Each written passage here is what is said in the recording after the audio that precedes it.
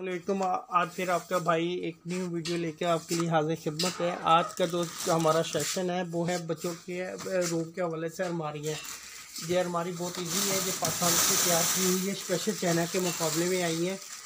इसके स्पेस भी काफ़ी है। ये फाइव मुकम्मल फाइव बॉडी के बनी हुई है। इसमें आप बच्चों के क्रैकर्स के हवाले से फ्रोज़न बारबी हर कलर के हवाले से अल्हम्दुलिल्लाह मिल जाएगी आपको, इंशाल्लाह।